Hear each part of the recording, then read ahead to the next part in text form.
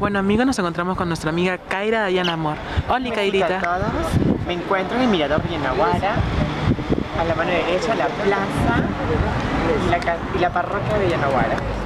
Quiero un besote y un saludo a todos mis seguidores del Facebook y YouTube. Pronto más videitos. Bye bye.